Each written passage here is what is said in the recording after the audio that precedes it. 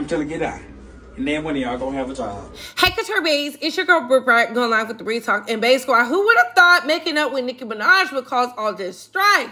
But before we get started, let's like, comment, and subscribe. Tap that notification bell so you can get all the updates and alerts. And remember, opinions are not facts. Everything we say here is allegedly and for entertainment purposes solely. So sit back, relax, sip you some apple juice or my favorite vegan water, and let's get into the mess, shall we? Do this or like I can't do this.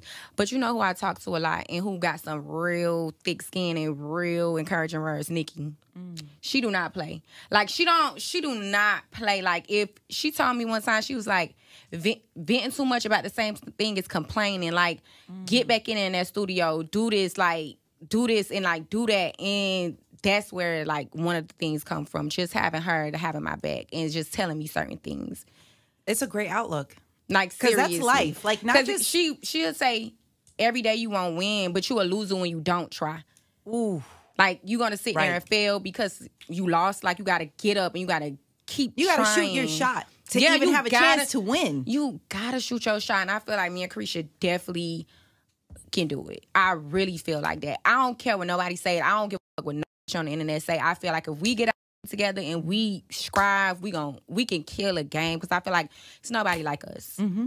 Absolutely. I, I was just listening to our album. I was like, nobody can talk they shit like us. I feel like we got to walk more into it, stand in it, be more confident in it, own it. When I was a regular girl, I didn't know any better. The respect I gained from her was coming in this game and becoming an artist and knowing what it's like. And it's like, bitch, you got to backtrack and you have to get that lady her flowers. You cannot downplay her because it is hard.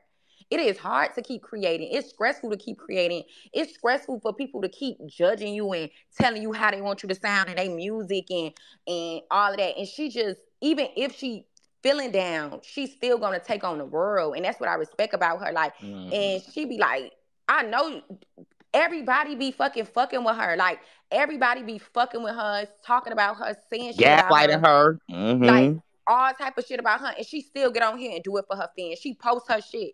She don't care. She drop her freestyle. She do her shit against the whole wide world. So why not like be in her corner? Like fuck that. I don't care if people say I'm eating her dick or eh, anything. Like who else dick should anybody eat other than Nicki Minaj? Like come on now, be fucking for real. Like, like it's like you ate that please that, don't bother me. Like if nicki minaj walk up and say any bitch in the comments saying i'm eating dick anything they're gonna bow down. This internet shit is not real. Like these bitches on the internet just talking behind a screen. They not going to see nicki minaj and not bow, bow down. Like i don't give a fuck. Like please. It's like i don't care.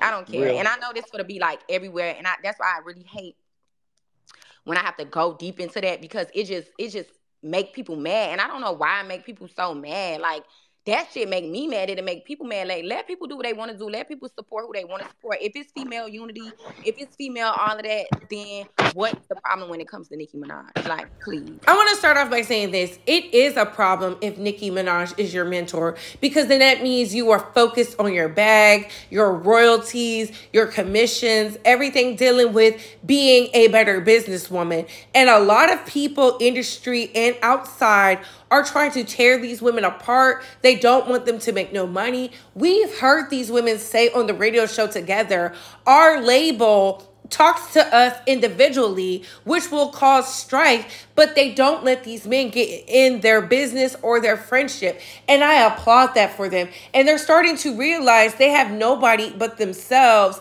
and the very few people who actually care about the city girls and these two women as women.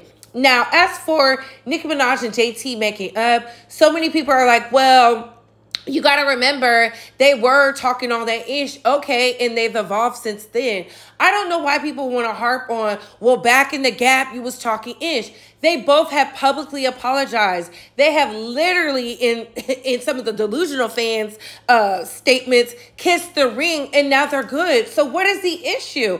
I just think people want there to be strife, and when people are actually moving towards peace, they hate it. And I said it last night, and I'll say it again.